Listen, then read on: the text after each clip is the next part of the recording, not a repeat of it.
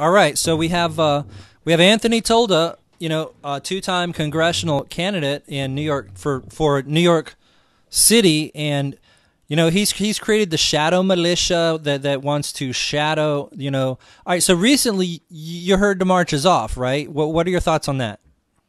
Well, I heard that. Um, just to tell the listeners real quick, I, I founded the Shadow Militia, which our objective is to basically go wherever the Kokeshites, as I like to call them, go. We will shadow them, and we will prevent them from doing anything violent. And uh, we will be prepared to use any means necessary to neutralize them if they become violent. Um, also, I founded the Sovereignty Party of America, so uh, to give some credit to what you were saying earlier, um, and and even you know, ironically, what Adam's getting at is yes, we take the our, our country back at the state level, and it's a big part of the reason I founded the Sovereignty Party of America. Okay, now, you know, with him canceling it and saying they're going to march on the state capitals, are you still going to have the shadow militia in Washington D.C.? And I'll tell you why. Um, we have some psychological data that the um, that the Sovereignty Party of American National Council has compiled and analyzed. Uh, myself, I'm an expert in the field of ponerology, which is uh, the field of social psychology that you can't even get a doctorate in. There's no coursework for it. But if there ever was any coursework, um, I would certainly be the one doing it with what I went on with in the last election cycle and um, and some people in the Libertarian Party and, and what I went through um, getting on the Republican uh, ballot legally and then being thrown off of it in a fraudulent matter, uh, manner, and then now what we're dealing with with these Kokesh issues. Uh, you know, I could I could probably write a book on ponerology in practice. Um, you know, in modern day um, context, uh, the book uh, Political Ponerology was written back from um, in the 40s and 50s when communism was taking over Poland, some psychology students noticed that their teachers changed and the um, the concepts being taught changed drastically, and they knew something was up, so they began compiling data on um, on how society began changing, and they noticed how people with various mental disorders were able to identify each other and had an uncanny ability to work towards uh, towards evil goals together. Okay, and and for those who've not heard of this before, it is essentially that there are certain people who are essentially almost, if not completely, psychopathic, and they, of course, crave power, and they don't have normal human emotions like empathy. Is is that what ponerology is? Well, that's, part of it. Um, and just to just to clarify, when people say psychopath and sociopath, oftentimes they intermingle the terms. A, a psychopath is somebody that is born biologically differently. Um, so the guys are going to hate me right now, and the ladies are going to love me. 10% of males are born with some form of psychosis or psychopathy, and only 1 in 100 females, thankfully for this world, are born with some um, type of um, psychopathy or um, or um, psychosis. So when you average that out, you know, world is approximately 50% male, 50% female. Um, you know, slight deviations uh, on what country you're in, but it basically balances out to approximately 5% of the population is just born biologically different without senses of empathy or remorse or guilt. And then a sociopath is somebody that, learns or assimilates to that type of behavior through being around and learning it from psychopaths. Okay, and what we're talking about this because you suspect that Adam Kokesh may be one of these people. Is that kind of where you're going? Well, it, it's impossible for us to to attempt to diagnose him as a psychopath without actual physical um, biological data, which is just way outside of um, any any realm of being logistically possible.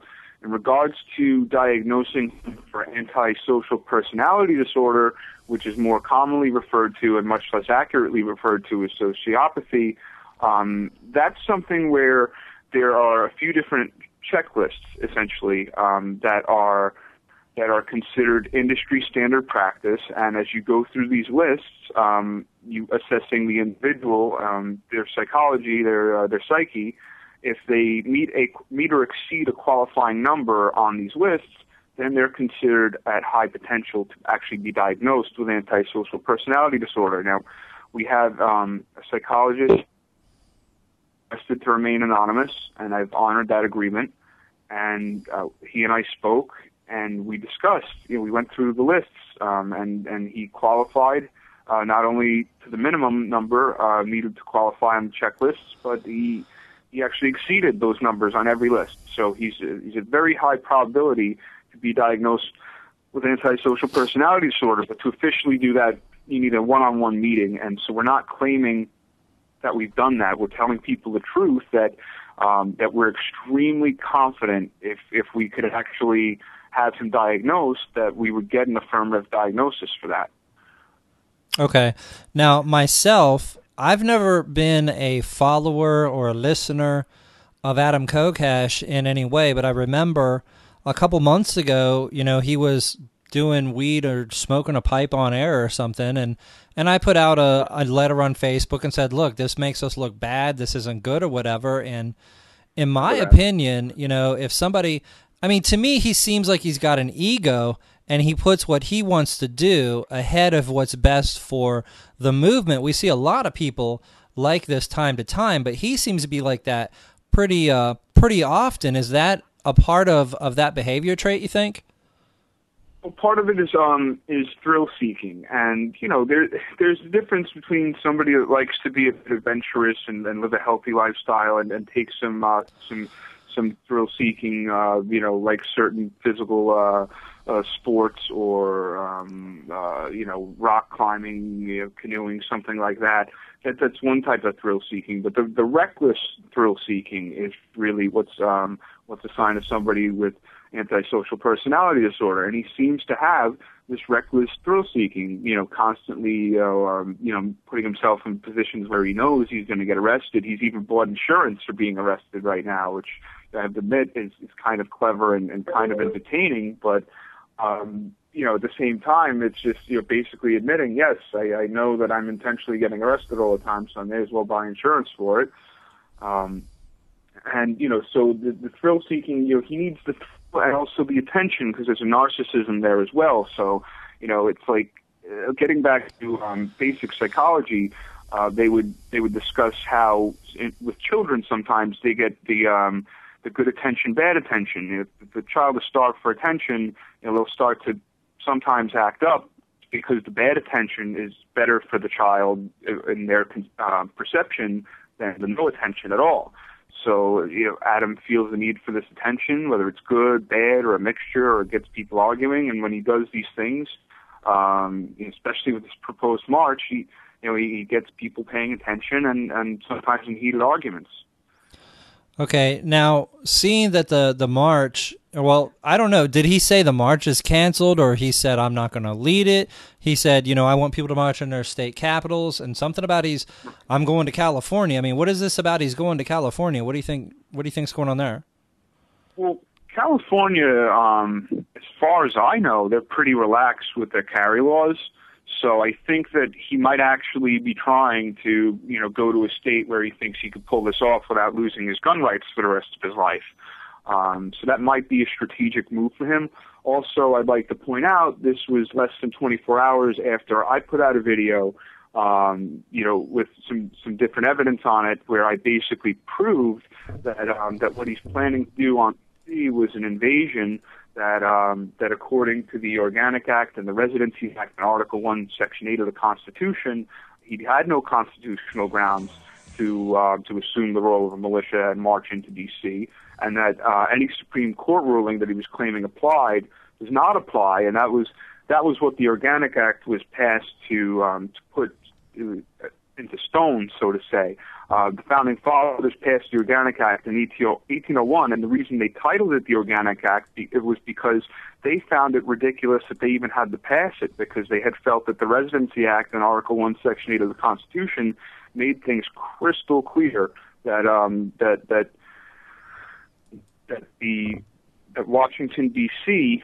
has a specific and special sovereignty status that is beyond the uh, sovereignty status of counties the context of the county sheriff having supreme rule um, or the context of states having sovereignty from the Union, DC has a special and um, and privileged uh, sovereignty status compared to our other concepts of sovereignty. So we, there's degrees of sovereignty um, in a legal and constitutional context, and I think that what Adam was failing to understand was the heightened degree of sovereignty that DC has. Okay.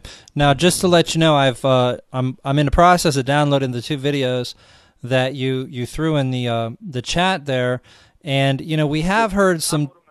Work, Just so you know. What's that? If you download and re-upload, the notes won't work. They they, they come off. I don't know why, but that's how it works. If you play the raw film from the original YouTube channel, the notes will work. But if you download and re-upload, they will not work. Okay, yeah. Was that the first one or the second one you dropped in, or are they both the same? Oh, it's two different videos. One shows how the um, how the ponerization works, which is, uh, I guess, a clinical way of of saying how the um, the brainwashing and retaining of, of people that um, take over a political system or a religious um, group or um, basically any social group this can happen to. No, no, no walk of life um, is exempt from potential ponerization. Right. Now, I remember that video because you showed it to me before, and it's from, you know, a lot of that video is from a movie called Jay and Silent Bob, and and it kind of made me wonder, you know, because it, it showed how somebody can essentially educate people and be telling the truth but at the same time be manipulating them. And I kind of thought about even myself in my own broadcast. I mean, I am educating people and I'm telling them the truth. And frankly, if I could manipulate them to fight the New World Order, I would, and maybe in some way I am. What separates the kind of person that you show in that video from someone like me?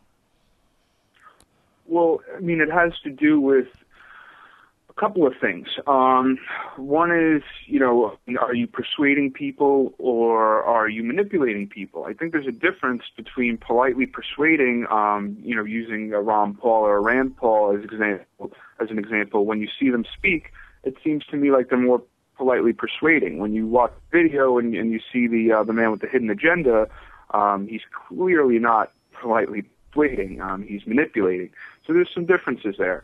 Um, and also, it, it depends on you know if your motive, if you're stating your motive is to fight the New World Order, and that's what you're asking people to do, then there's no ulterior motive. You've been very clear about what your intentions are.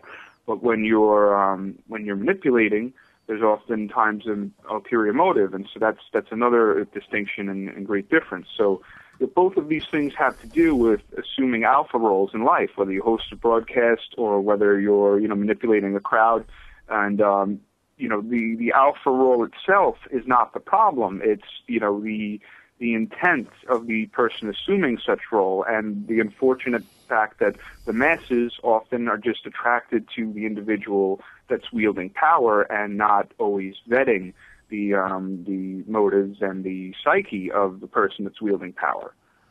Okay, and you know, interestingly, it was also it, it was basically a guy in a store telling people you should not be smoking cigarettes here have this gum instead. And he turned out to be a salesman of the gum. So that that's kind of he had a self gain a profit motive of some sort right?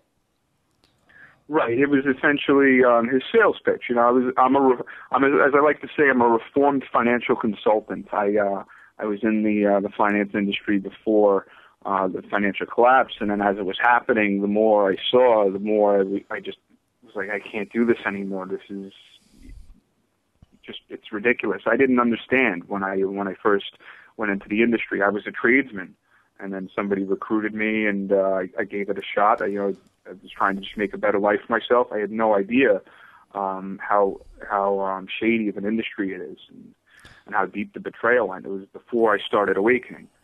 Right. Yeah. There are so many people in the truth movement who have stories like that. I have a personal friend who you know, she was a nurse and she did the vaccinations, vaccinated who knows how many people. And when she found out the truth, she was devastated and she left the medical industry altogether. And Okay, so some you know our, our previous broadcaster Mike just sent me something that relates to all this. It's just a, a five second thing.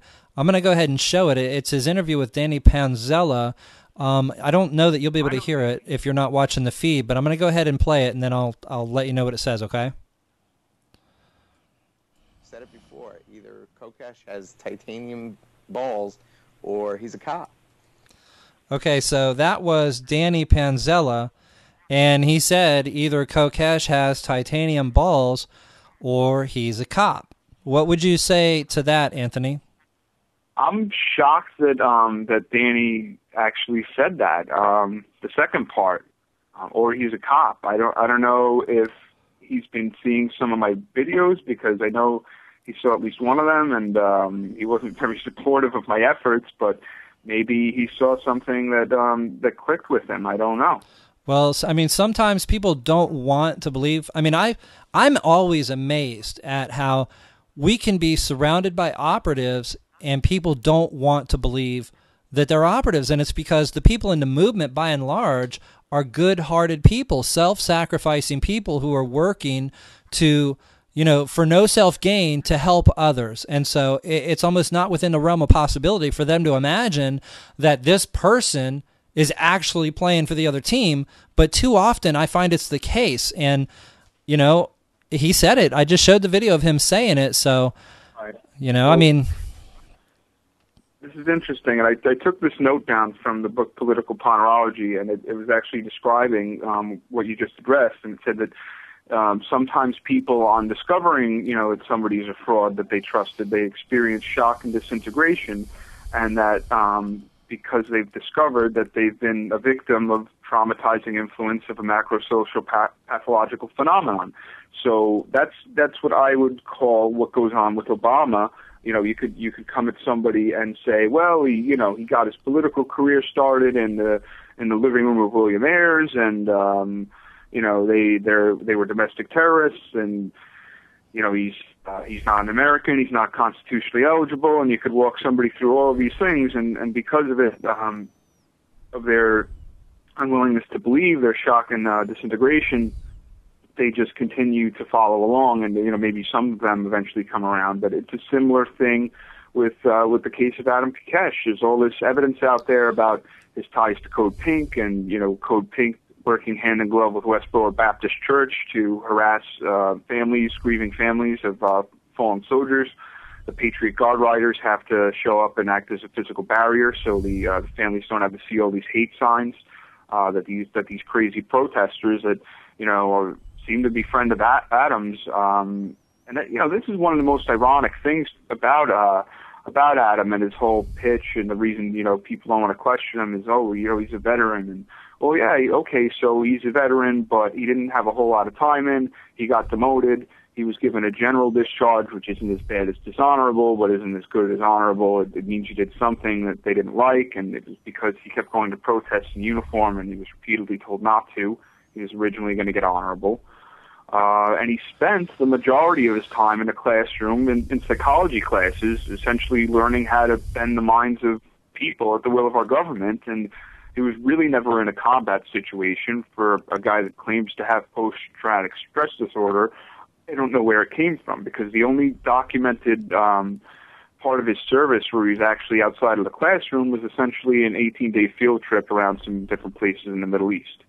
Okay, and you hit upon a part there that to me is the most concerning that as Alex Jones stated live on air during his interview with Adam Kokesh, he said you were in psyops. He said you're a marine, you were in psyops, and Kokesh did not counter that. He was in psychological operations, and and that is to me the most scary thing that we're going to have somebody who was in psyops lead an armed march on Washington D.C. That's like shooting yourself in the head, in my opinion. Now you seem to know a lot about psychology. Did you? I mean, where did you learn these things? Is are you self researched, or or how did you come by all this?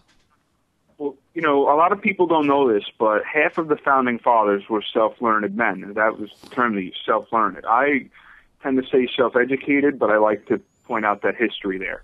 Um, I did, you know, briefly. I went to college. I took one semester. It took me a long time to get there. I didn't want to go into debt, and I became the man of my house at a young age. Um, so I put off attempting college. And once I went, they waited until I couldn't get my money back and then duped me into getting a measles, mumps, rubella vaccine, which I had a very bad reaction to, and that kind of turned me off to um, to college and in the physically uh, in the context of physically going to one. And I realized that um, that all along I had been educating myself anyway, and that I should just you know consider uh, continue pursuing my personal studies because I don't need a piece of paper to prove that I'm knowledgeable or an expert in certain things. I just need the knowledge and somebody wants to verify what I'm saying, you know, they can make the effort to do so. I have no reason to lie or mislead people, and I do my best to be as accurate and factual as possible. And, uh, you know, I'll tell you when I'm giving you my opinion or speculation, and I'll tell you when I'm giving you a fact.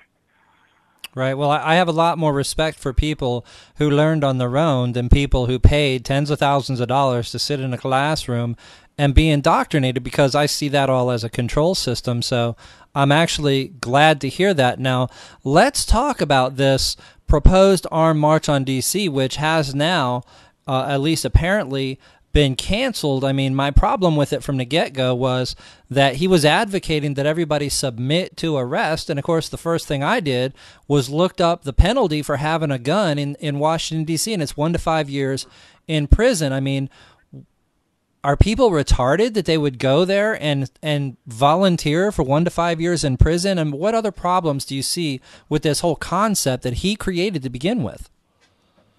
Well, it's an interesting case with DC. They're not they're not necessarily foreign land, but in a in a sense they are. It's not technically in a legal context American soil because they enjoy special sovereignty status to a point where they're not even considered America. That's how uh, that's how privileged their specific uh, sovereignty status is, and that's you know permissible by the uh, by Article One, Section Eight in the Constitution, and was signed into law by George Washington himself uh, with the Residency Act, and then uh, Congress reinforced that with the Organic Act of 1801 because there was some rumblings about trying to make some decisions that would affect DC through the court system, and uh, the founders thought this was just crazy. They couldn't believe it, and they said, "Well, we have to, you have to pass this bill so that we could make it crystal clear. Our intent was to not have the court systems have jurisdiction over DC. That only the federal government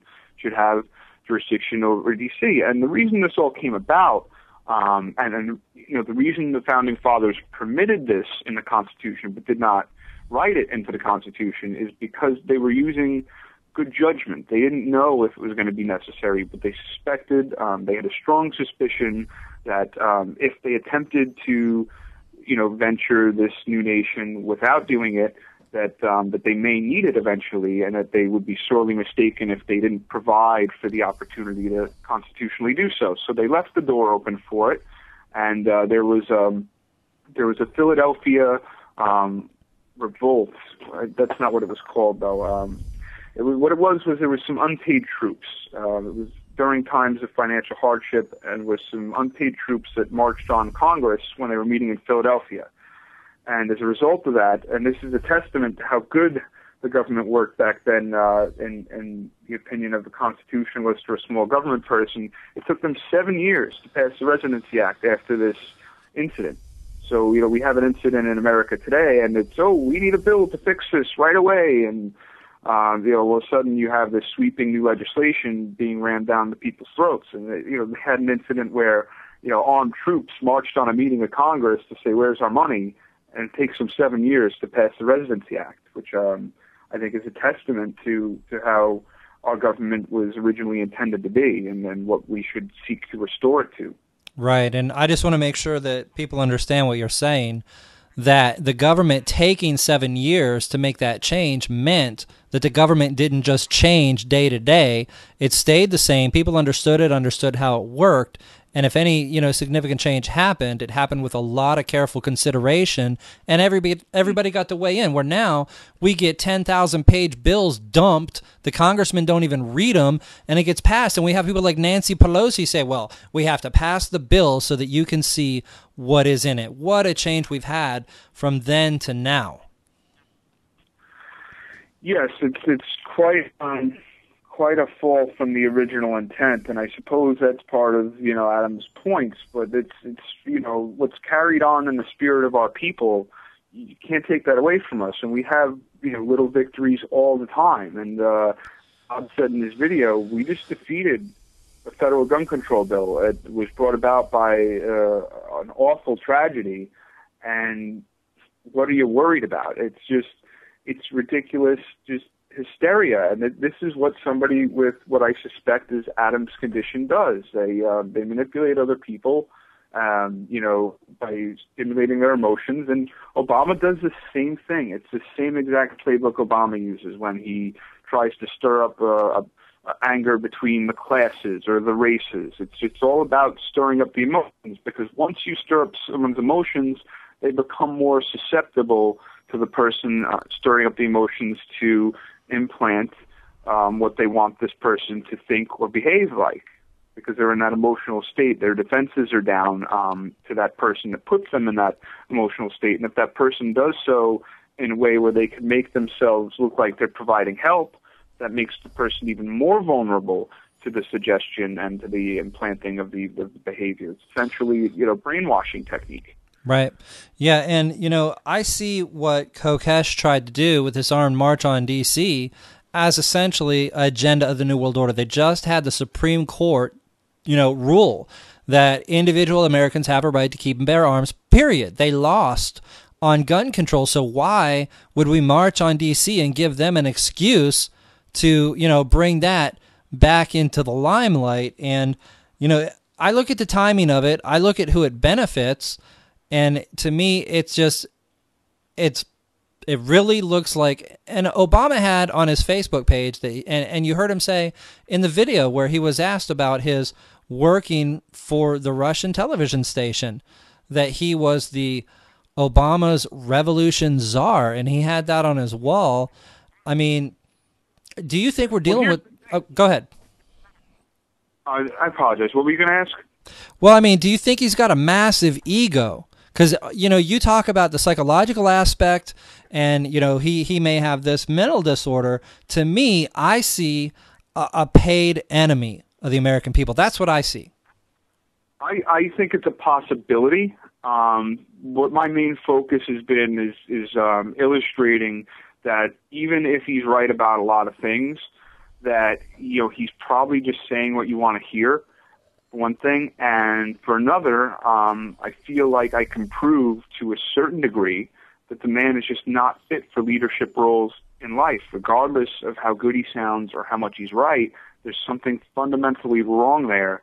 That uh, you know, our government's basically run by these people with antisocial personality disorders in the first place. So how on earth could somebody, you know, expect me to buy into the idea that well, trust this guy with the antisocial personality disorder because he's saying what you want to hear, and he's going to be a lot better than that group of guys with the antisocial personality disorders. It's just, it's a ridiculous concept to me. But for him to say that he's Obama's revolution czar, and a lot of people that have antisocial personality disorder, they're flamboyant and and um, and they're egotistical to a point where they'll tell you right to your face what they're intending on doing and say it with a smile, and it sounds so goofy and outlandish and crazy um, that that people, you know, just think, oh, so and so's just joking. They they're just that's the kind of person they are, and well, they're not joking. They're telling you what they're going to do, and they're so arrogant about their ability to manipulate you and pull it off that they'll tell you to your face, and then get away with it, and you still won't even expect it after they told you. Right, just like Obama before he was elected. You know, he said that you know, some businesses would necessarily be bankrupted, you know, about the energy companies or something. He he flat out said what he was going to do and then he did it and he still has supporters out there. It's it's crazy, but you know, what was it Hitler that said the the greater the lie, the more people will believe it. And and he said, you know, the more we do to you, the less you believe we're doing it. Yes, because it, it works through incrementalism. So if you recall, you know, Adam had that whole, um, you know, dance party on the, uh, on the I want to say Jefferson Monument. Right. It was in D.C. though, I believe, right? I think so. Yeah. So this was this is the incrementalism. I'll get people used to protesting in D.C. Right? So come have this dance event, and then all of a sudden now it's a, a march on D.C. and he's calling it the Revolutionary American Army. Well, you know, when Hitler rose to power, and I'm not saying you know Adam's Hitler. I'm just saying when Hitler rose to power, you know he had his own you know thug squad, the the SS, whomever. Um, and uh, they um, their whole thing was to show up at political events with him and you know cause a ruckus and essentially take over and then coerce the people at the political event to bend to the will of Hitler. So if Adam's going to start running around politically with his own army, uh, you know, I really felt no recourse but to found the um, found the shadow militia and you know, people could say, well, you're doing the same thing. But there's a difference in the context in which I'm founding the Shadow Militia. You know, with Adam and his army, you know, he fancies himself the next George Washington and he's the commander and all this stuff.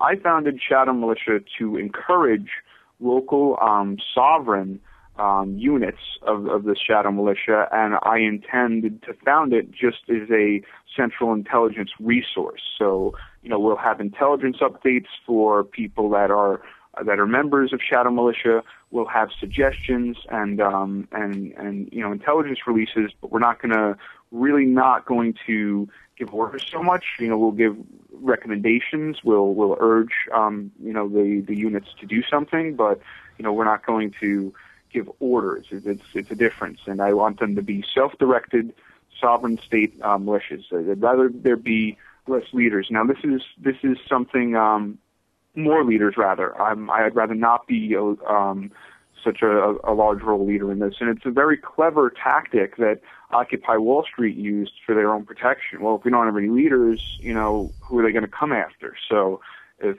Shadow Militia has no leaders there's nobody to come after and and also it's I just feel like it's more honorable and honest of me to just say, look, this is my concept. I'm trying to help everybody. I'm encouraging you to help yourselves.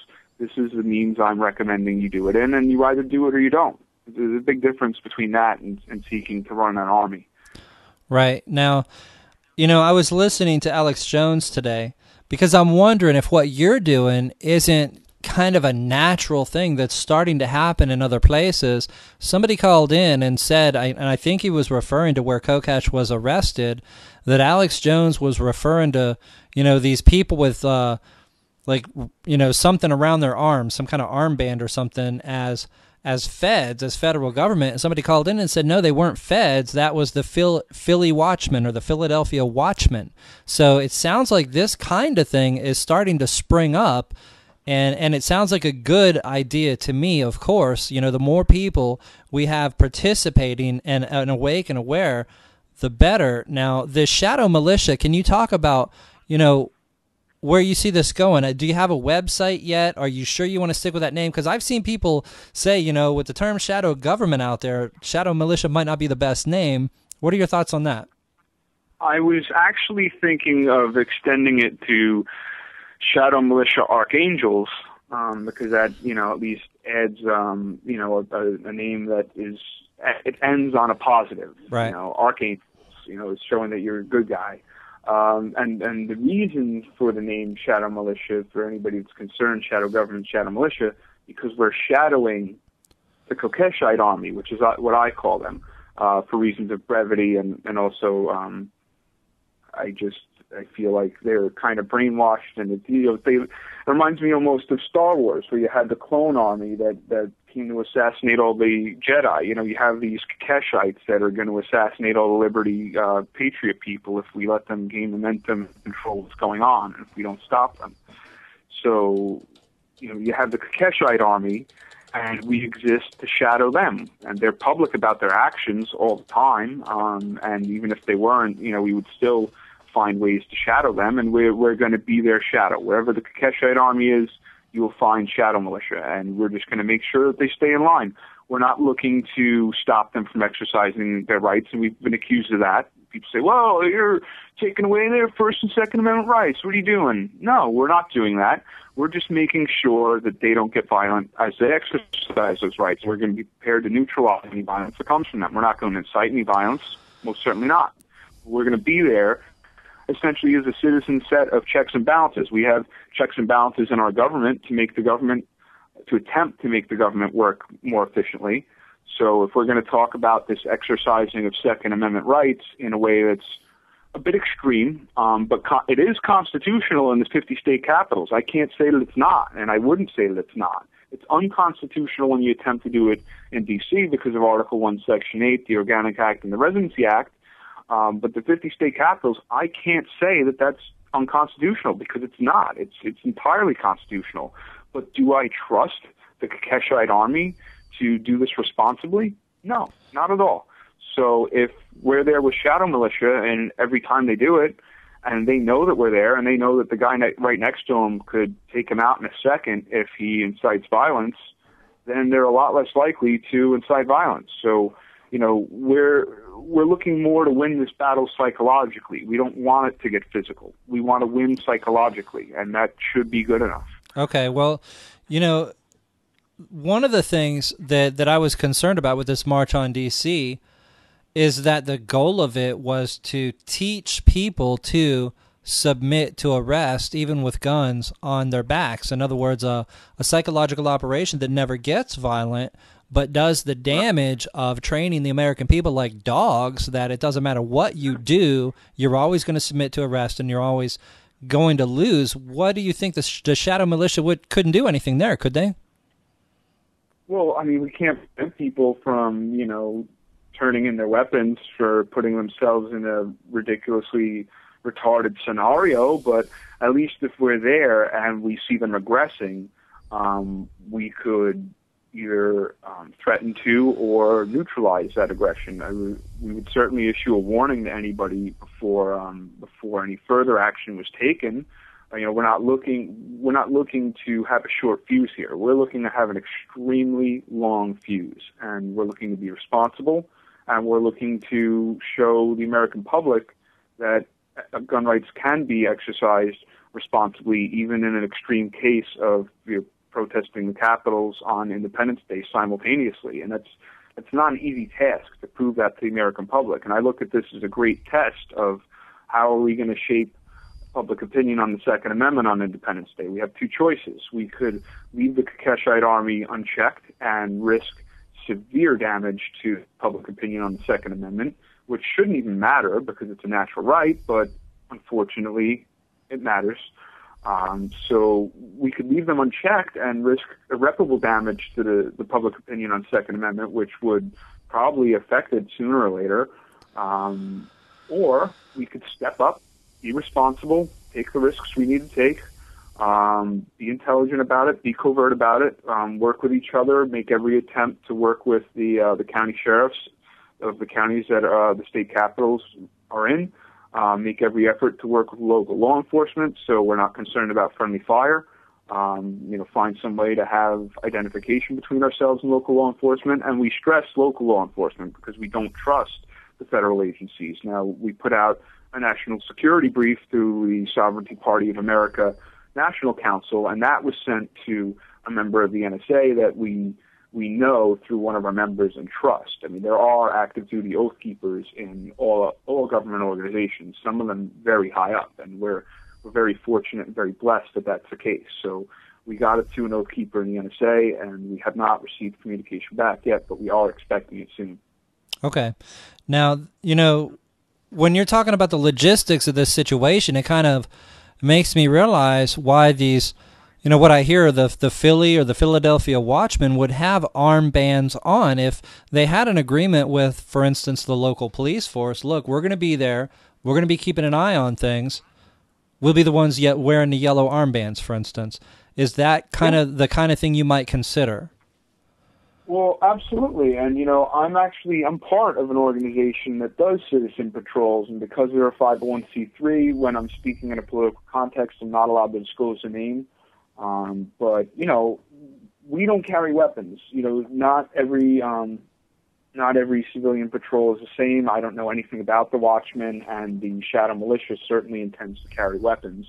Um, but in, with this group, we do not carry weapons, and uh, you know we we're out there in rough neighborhoods where you know people get shot. We're putting our lives on the line for no money, no benefits, um, you know, no glory. I can't even say the name, you know, um, when I'm speaking in a political context, um, just out of respect for the 501c3. So it really does come from the heart. Um, the, the people that do this.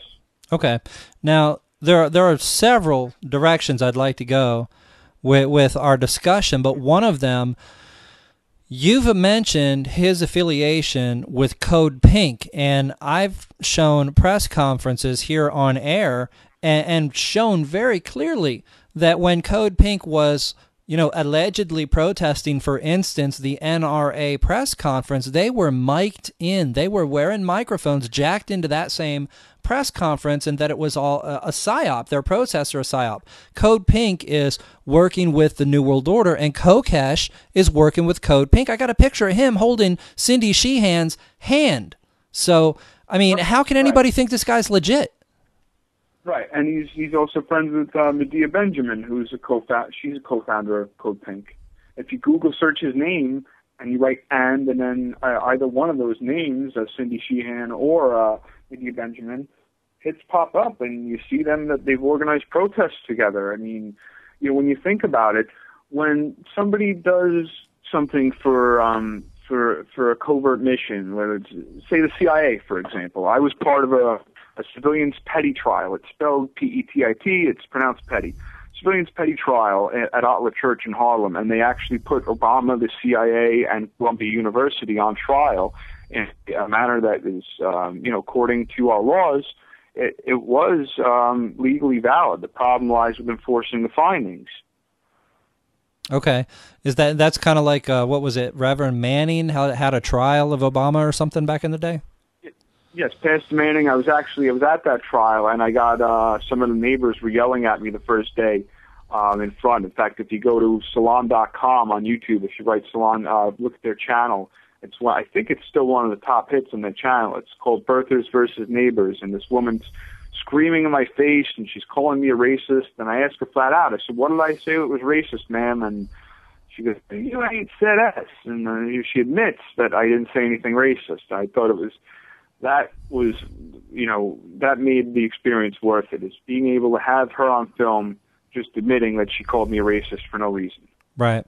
Okay. Now you also earlier mentioned the the Kokeshite, as you refer to them, Kokeshite thugs, and and this might be new to a lot of people, but and and I don't honestly even know if you're really aware of it, but we've found ties between Adam Kokesh and his I don't know if you can call it an organization because there seems to be a lot of young kids involved, but uh, but them and the gang called the Crips do you think yes. that, that this effort to say, okay, never mind, we're not going to march on D.C., we're going to march on all 50 capitals, might be a way to make it impossible for them to be shadowed? Well, no, because I, I put out this recruitment video, and it was specifically requesting that um, that we were appealing to Oath Keepers and Patriot Guard riders as individuals, not on an entire organizational basis because their groups are 501c3s, and I know a lot of, about that. And you have to be very careful when you're a 501c3. You could lose a status, and that it's tax exempt. So you can go from, you know, being tax exempt to not being tax exempt, and that would put some of these organizations uh, out of business or make uh, make things a lot harder for them. So uh, we specifically said in the video that we are we are appealing to these two groups on an individual basis. Basically, we're we're asking the members of those groups to review the material, look at the national security briefing, and, uh, and decide for themselves if they want to help or not. And if, if they do help, that we are suggesting that um, that there'll be a shadow militia unit and that they'll be sovereign within their state and just work with other people and, and figure out how they're going to defend our state capitals on Independence Day. And I have enough faith in the American people um, and and our uh, our oath keepers and our patriot guarders, whose numbers are pretty massive, I have enough faith that we have enough time, um, and those those people are going to do the right thing, and um, and we're going to have a bulletproof plan for national security. On Independence Day. So I, I, I actually, you know, for as much as I'm at odds with Adam, as much as I suspect he could be a plant or reckless or has antisocial personality disorder, I'm forced to do whatever I can do to actually try to help him not get hurt this day because he's going to hurt other people with him if um if nobody protects him. So I'm trying to protect all of us from the fallout of the repercussions of rash actions left unchecked by Adam and the Kokeshites. I'm trying to protect all of us from the fallout. I'm trying to protect the Kokeshites, and I'm even trying to protect Kokesh as much as I'm at odds with them, and I'm furious with them. I forgive them, um, but I'm still furious with him, and I'm not going to forget, and I'm not going to stop, and he's not going to stop either. So the um, the best way to make sure that we come out of this unscathed or give us the best probability of coming out unscathed is to call on our oath keepers, our Patriot Guard riders. The same video I call on the Tea Party and Occupy Wall Street to put their differences aside just for the day, and to um, to Tea Party and occupy their state capitals. And then uh, I, I even noted um, there's documented cases of Occupy Wall Street neutralizing a potential violent threat by surrounding the um, the person with love. There was this story about this big guy that stood up and said, "Does anybody want to fight me? Who wants to fight me?" And they they got in the circle and held hands and they said, "You know, we love you, brother. Nobody wants to fight you and all this stuff." And he got freaked out and ran away.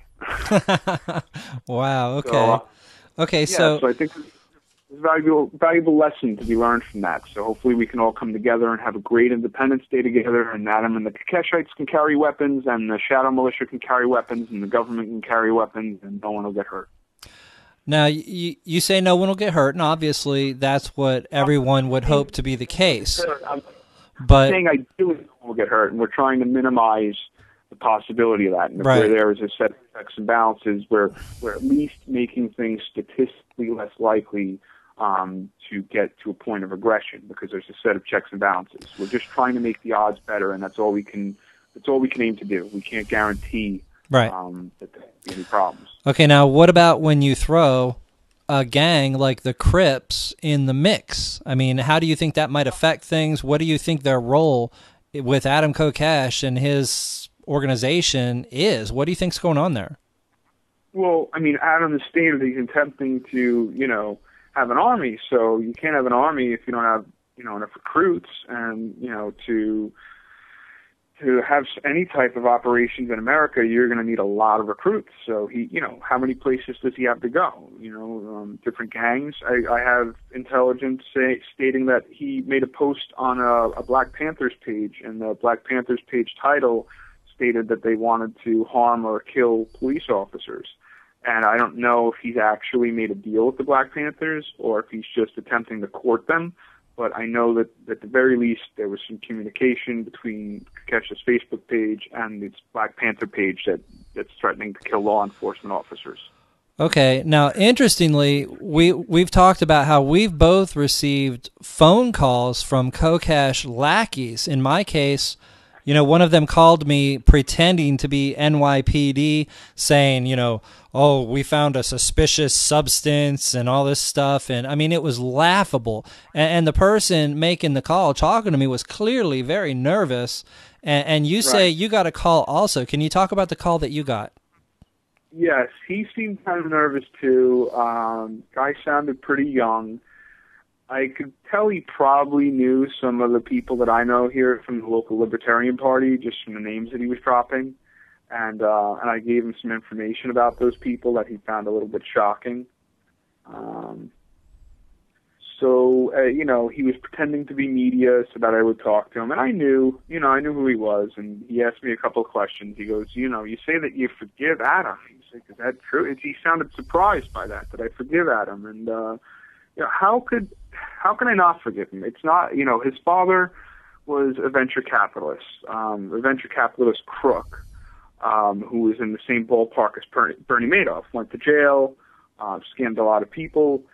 So, you know, we on the National Council for Sovereignty Party of America, we suspect that, you know, Adam uh, has antisocial personality disorder. We also suspect his father has it, and we suspect that he learned, because it is a learned behavior, we suspect that he, uh, in many cases, that is, um, sometimes it is biological, but in many cases it's learned. So we, we believe that he, you know, to learn behavior from him, uh, for him rather, and that his, you know, his was either a learned behavior for his father as well, or perhaps it is biological. But it, it's it's so difficult to be to begin to even attempt to prove the biological aspect.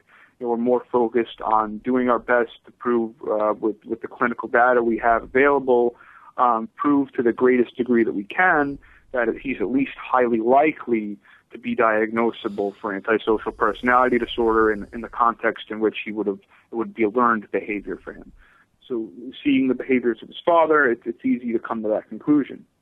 So how could you how could you not forgive somebody if they've been born and bred have antisocial personality disorder? I mean, in some respects, the person didn't have much of a fighting chance, especially if it's uh, if it's a son and his father. You know, you have a, a father figure that has this disorder what are the odds of the son being able to consistently resist it into his adult life and um, and not fall into it? Right. Well, I mean, on that topic, I tend to look at things as if somebody hasn't changed their behavior, if if they don't say, "Look, I'm sorry I did this," and change, then they're still in a state of conducting, you know, what they did. How can you forgive them if they're still doing it? because he doesn't even know that he's doing it. I mean, he probably doesn't know he has the condition. He probably doesn't know his father has a condition. Um, he might he might know. Um, it's possible because he took all those psychology classes, so he might very well know. Um, but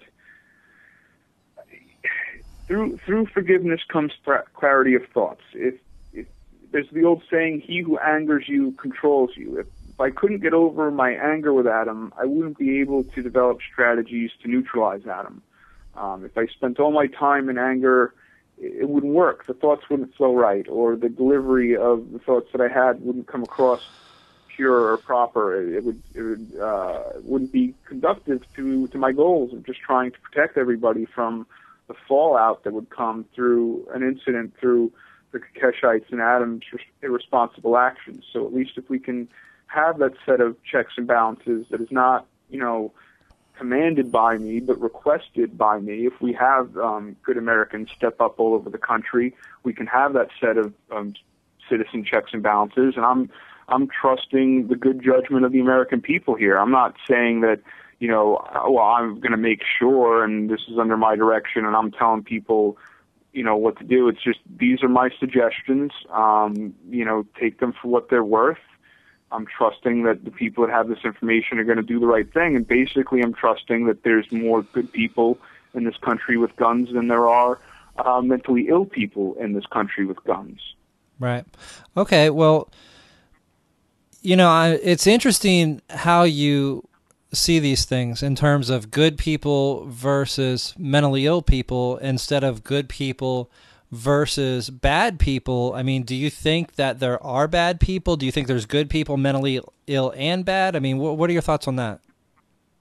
Well, it, it's interesting, and you know, who's to really say what's good and bad? But I mean, there's certain things that are unilateral. I mean, if you're, you know, you watch somebody commit a murder and it's unprovoked, you know, it's, it's unilaterally wrong. It doesn't matter what uh, what religion you believe in, if any, and it, it's, it's something, you know, there has to be some type of standard uh, for what's right and wrong. So I think that most people um, that might be perceived as bad, um, you know, probably are mentally ill.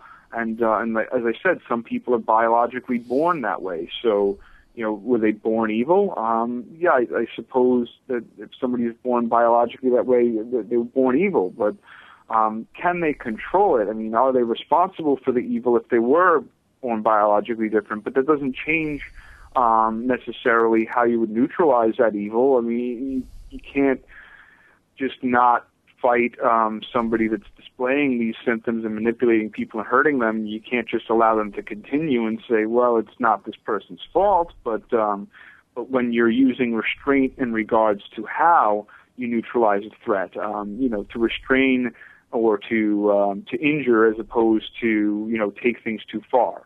To use the minimum amount of uh, physical force you need to do to do a threat as opposed to going overboard. You have to be to be better than the people that you need to confront physically, not stoop to their level. And it's a very fine line to walk, and it, it takes a lot of discipline, and um, and it, it doesn't come easy um, to everybody.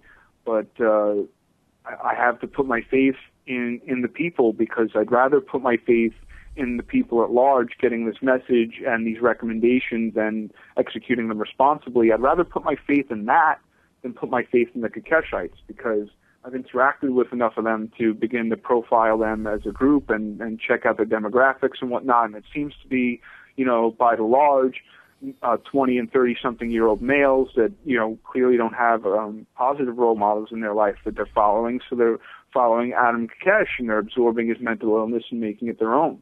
And that's, that's part of what the ponerization process is. Okay.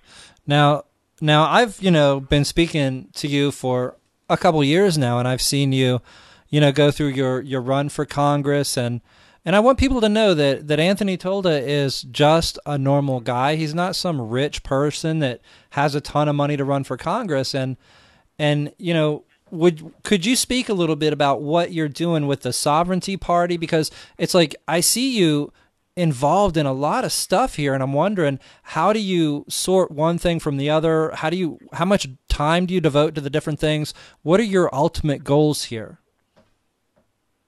Basically I try to do as much good as I can wherever I can and I spread myself pretty thin between you know uh, just regular work so I can pay my bills and you know doing what I do as a candidate as an activist as an individual as a volunteer um, to just try to set some things right and, and balance some things out in this world. And where, when I see a void, you know, I don't agree with everything that Michael Savage says, but I've heard the man say some extremely intelligent things. And uh, you know, sometimes he says something that, you know, it's almost like he read my mind. And you know, he said once, he goes, you know, I don't even necessarily want to be the one that's saying and doing the things that I'm saying and doing, but I see such a lack of it, such a void that and I, I know that somebody needs to fill it, so I fill it. So when I see a void um, or or just a cause that I, I'm passionate about, I do what I can to um, to work towards it and, and towards helping the situation. Whether that's founding Shadow Militia or founding the Sovereignty Party of America, and you know I've dealt with the third parties, I've dealt with the Republican Party, and it's been a train wreck. And I just have to believe I could do better. So I founded the Sovereignty Party, and you know with this whole DC issue it's it's kind of ironic. You know, a few short months. I founded uh, April 25th, 2012. So not that long after I found, you know, here's this proposed DC march, and most people don't understand uh, DC's uh, specific and privileged sovereignty status. And you know, here I am uh, on various radio broadcasts explaining the privileged uh, sovereignty status and the uh, the history behind it. So I feel like it's certainly earned the name at this point. Um, now, now that we're coming to this conversation, right? And you know, don't you think that Kokesh, or at least if he's being managed, whoever would have been managing him, they got to know that that DC is not part of the United States of America and that you know you can go to prison for having a gun there regardless what the supreme court ruled. They they still enforce that. How could that's another thing to me. How could he ask other people to go there and submit themselves to prison? It's one or two things. I mean either it was an honest oversight like he could have just been you know totally overzealous and having that uh, that vaulting ambition that Shakespeare uh, uh, warned us about and just said, "Well, yeah, I'm going to D.C. because it's the best, you know, target, and they'll get us the most press and all this stuff." And you know, his handlers, you know, these people aren't always the brightest bulbs. Um, that's another thing about people with antisocial personality disorder. They're very, very crafty and very intelligent, and oftentimes manipulate people um, that do not have a psychological disorder and get one over on them. So, in some respects, there's a, there's a degree of intelligence there, but in other respects, they overlook a lot of things and don't think don't tend to think things through as as much as they should or as thoroughly as they should. So they slip up a lot. So if, if you're intelligent enough and you're you're good natured, um, you can outsmart them if you know how to spot their behaviors and and just be have self discipline, let them to make you angry, and just wait for the opportune moment to outsmart them. Um, so it's either one or two things: either they knew it and it was part of the ruse to lure people in to um, to you know push an agenda or or um, uh, allow for a government response that would have been a lot worse than had it been anywhere else. Because uh, personally, you ask me if DC if there's an attempt to be invaded on uh, for, for DC to be invaded on, upon DC is they're not going to forget the Sovereignty Act. They're not going to forget the Residency Act, and they're not going to forget Article One, Section Eight of the Constitution. They're going to remember pretty quick, and they're going to have an ironclad defense to totally overreact. Um, I mean, we're not going to consider it an ironclad defense, but the mainstream media would. So, you know, it was either a, a very nefarious plot to usher in martial law or it was just an oversight due to arrogance and and vaulting ambition and, and overzealous being overzealous. But either way, um, you know, it seems like he's he's gone sour on the idea, and it, it did come 24 hours after a video I put out there, and you know, I, I explained in the video how this is an invasion of a sovereign territory that they're not America, and I also explained that we recently got video footage of Kokesh calling the Constitution a failed experiment. So when you combine those two things, what do you know? Well, you know that um, you know he's he's disrespecting the Constitution, you know, and, and calling it a failed experiment. He's essentially saying, um, you know, he's not respecting or operating within it anymore. When you combine that with the fact that he's assuming a militia role and seeking to invade D.C., he's combining an implied act of war with a statement that you know, he, he's considering the Constitution obsolete as a failed experiment.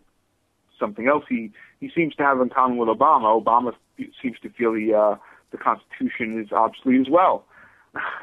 wow, that's so, uh, I think I think that's a a crucial point right there. In that Kokesh agrees directly with Obama that the Constitution should be scrapped. I mean that you can't deny that, can you?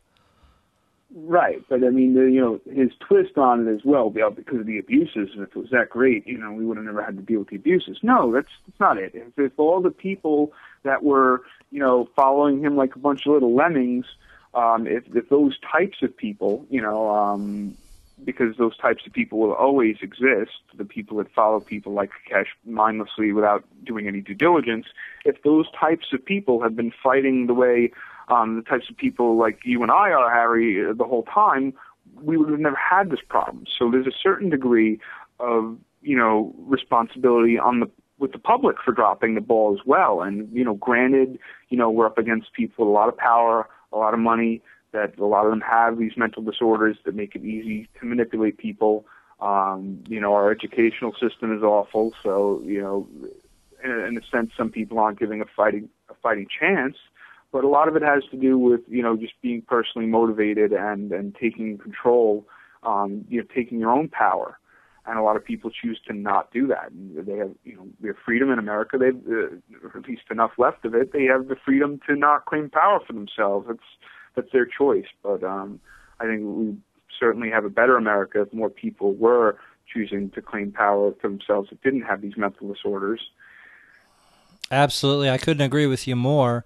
And you know, we've we've taken up an hour and a half of your time, so I don't want to keep you up too late. I really want to thank you for coming on the broadcast, Anthony. And is there any uh, websites or anything you'd like to get out there?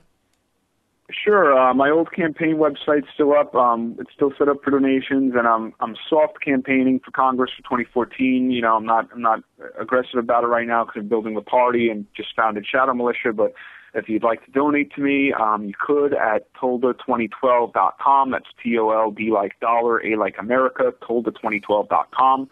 Um, we also have sovparty.org, which is short, short for Sovereignty Party of America, sovparty.org. Um, that that's relatively new. It's it's not set up for donations yet, but we'll, we should have a PO box to send to um, by the end of tomorrow or the next day. Um, so those two websites I'd recommend. You could look us up on Facebook, Shadow Militia, uh, Shadow Militia on Facebook, uh, Sovereignty Party of America on Facebook, Anthony Tolda for Congress, Anthony Tolda. Any of those ways, um, you could look for me and, and YouTube as well. Um, I have some interesting videos blowing the lid off of this whole Kokesh scam or whatever it is. I, you know, it's like it's I'm halfway between believing he's an operative and just or he could just be individually crazy. But looking at his father and you know donations with him and the Democrat Party and the fact that he was a Democrat, you think about the Obama administration facing at least three or four impeachable you know scandals at one time. They're in fight or flight mode. This is the perfect thing that they would need to, you know, turn the attention towards the American people being bad, usurp a bunch of new powers, and keep themselves in power when you Right. think about it. And, and Kokesh has the perfect cover when you think about it. As I was getting at earlier with with Obama, I, I kind of got off on a tangent telling you about the trial, but um, during the trial, they you know they had evidence that Obama and his mother were CIA uh, um, operatives, and when you think about the case of Obama, it kind of made sense. There weren't a whole lot of Americans that were able to speak, um, you know, the languages Obama was able to speak. I believe it was Farsi or Arabic or both. Um, in the 80s, it, it, if you remember, after 9/11, you know, they had difficulty finding people to translate some of these videos we were receiving. You know, they didn't have a whole lot of people that were, you know, working with the government to translate these videos for them. There's, there's a shortage. So there's certainly a shortage in the 80s. And uh, so his cover, supposedly, and according to this evidence, is that uh, he was a Kenyan businessman when he was traveling in Pakistan, and um, he was an American at other times. It's but you know he was able to have this Kenyan cover because his his father was Kenyan, so it was easy for him to uh, to have a Kenyan cover and then um, the Kenyan passport and because of the dual citizenship with his father. That's another thing. You know, according to British law, um, any any person that's born to any British subject anywhere around the world, um, even if it's only one parent, they are automatically a British subject. And you can't be born a dual citizen and a natural born citizen. It's an automatic disqualification of status. So the location of the birth, the birth certificate, doesn't even matter. Just the fact that his father was a British subject, according to British law, therefore compromising his natural born um, status, capability, or potential here, uh, you know, it's a dead in the water theory from the get go. He's not a natural born citizen. He could be a naturalized citizen um, or a citizen, but he can never be natural born. It's impossible. Right. Now, since you bring up the what's referred to now almost in a derogatory term by the mainstream media as the birther issue, I know Orly Taitz was all over this. Was that eventually resolved in any way, shape, or form? Is it still ongoing? What is the latest on that? It is. Um, Sheriff Joe Arpaio seems to be making the most headway um, at this moment, but uh, there's been plenty of other times where people are making headway, and unfortunately, nothing happens. So, but you know, when you think about it, though, when you have this issue that's not going away, I mean, we don't know if anything's going to come of it, but it's not going away. Plus, you have Fast and Furious, you have Benghazi, you have the IRS scandal.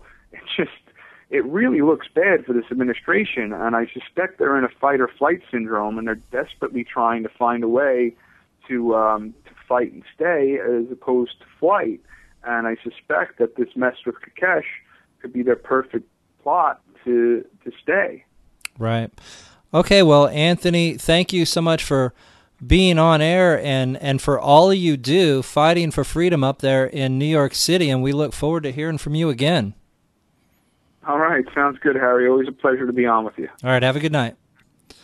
And that was Anthony Tolda up there in the NYC, where he is tirelessly working to fight for the rights of people who really, frankly, don't deserve them. It's hard to argue that that some of these people that sit around watching television, stuffing potato chips in their mouth, deserve the good efforts that people like him put forward. But, you know, as I always say, when you defend your rights, you're defending everyone's rights. In other words, people like me who get in armed standoffs with the police when they try to violate the Fourth Amendment by walking into my home might make them think the next time, well, maybe I won't just go ahead and barge in this home. Even though that's just some fat slob stuffing potato chips in his mouth who doesn't even have a gun, just sitting there watching TV. And in the same sense, all of the work being done by all of the activists exposing truth, promoting freedom, benefits everybody. In the same sense, all of the work not being done by those who just sit around and do nothing hurts everybody. We would like to thank all who tune in, and especially all who bring others to the network so that we can unplug them from the false reality. Remember you can show people how to tune in on their cell phones by searching their internet radio application for TBN. Truth Broadcast Network would especially like to thank its tireless broadcasters who sacrifice their time, energy and resources working against the enemy. There is a price to pay for their selfless effort enlightening the world. Thus we thank broadcasters, and ask the audience to be supported by spreading the word about live broadcasts and spreading the archives as much as possible.